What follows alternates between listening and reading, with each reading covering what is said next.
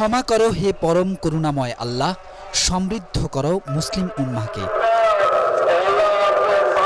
বিপদ থেকে মুক্তি দাও বাংলাদেশ ও বিশ্বের মানুষকে।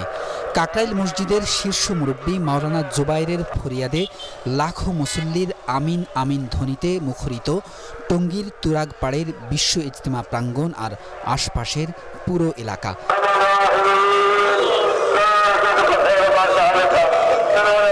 অতীতের পাপের জন্য মহান আল্লাহর কাছে ক্ষমা প্রার্থনায় ঢুকরে কেঁদেছেন তারা।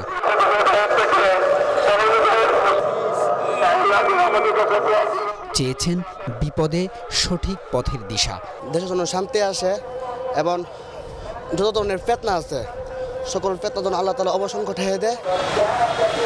চুয়ান্নতম বিশ্ব ইজতেমার প্রথম পর্বে তুরাক পাড়ে গত দুদিন মুরব্বীদের বয়ান শোনেন মুসল্লিরা।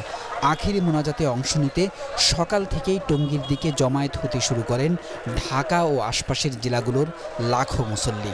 যোগ দিয়েছেন প্রায় একশোটি দেশের পাঁচ হাজারেরও বেশি বিদেশি মুসল্লিও।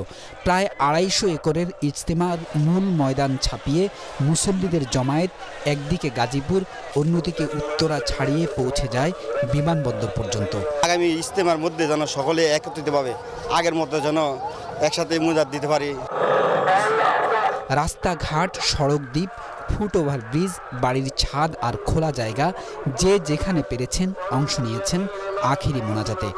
সকাল পৌনে এগারোটা থেকে শুরু করে প্রায় ২০ মিনিটের এই মোনাজাতে অংশ নিয়ে গুনাহ মাফের ফরিয়াদ জানান ধর্মপ্রাণ মুসল্লিরা। কামনা করেন দেশ ও জাতির শান্তি ও স্থিতিশীলতা।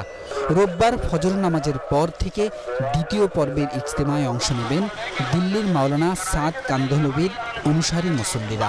আর দ্বিতীয় আখিরি মোনাজাত হবে সোমবার। কালিমা নামাজ, ইলমু জিকির, ইকরামুল মুসলিমিন তাসহিয়ানিয়াত তাবলিগ। তাবলিগ জামাতের এই ছয় উসুলের উপর গত কয়েকদিন মুরব্বীদের যেসব বয়ান শুনেছেন, প্রথম এবং দ্বিতীয় দফার আখিরি মোনাজাতের পর মুরব্বীদের সেসব বয়ান সবার কাছে পৌঁছে দিতে হাজার হাজার দল ছড়িয়ে পড়বে দেশ বিদেশে। মুর্শিদ আলম, এটিএন বাংলা, টঙ্গী, গাজীপুর।